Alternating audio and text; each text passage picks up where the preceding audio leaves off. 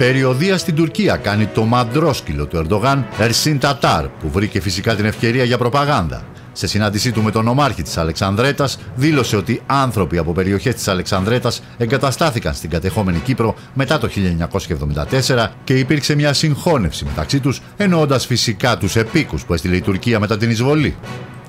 Μίλησε δε και για τον αγώνα των Τουρκοκυπρίων με τη στήριξη της Τουρκίας να εξηγήσουν μετά το άνοιγμα του Βαροσιού στον ΟΗΕ και στα κράτη ότι η συμφωνία στην Κύπρο μπορεί να γίνει μόνο στο επίπεδο δύο ίσων κρατών. Και δήλωσε χαρακτηριστικά. Στην Κύπρο υπάρχουν δύο χωριστοί λαοί. Αυτό πρέπει να το γνωρίζει ολόκληρος ο κόσμος. Δεν υπάρχει κυπριακό έθνος.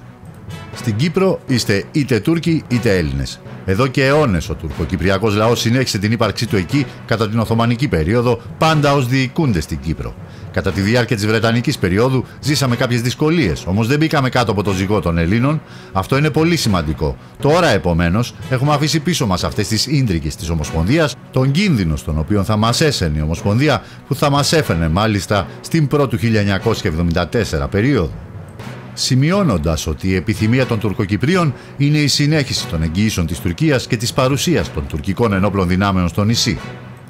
Ο Τατάρ μίλησε και στο φόρουμ για τα μέσα μαζικής ενημέρωσης του Τουρκικού Συμβουλίου στην Κωνσταντινούπολη, όπου πάλι είπε για δύο λαούς και για δύο κράτη ότι το ψευδοκράτος έχει βαθιές ρίζες και ότι αυτή τη στιγμή αυτοί είναι οι εκπρόσωποι του τουρκικού κόσμου στην Ανατολική Μεσόγειο, για να αντισταθούν σε αυτούς που έχουν σκοπό να τους αφανίσουν από την Ανατολική Μεσόγειο.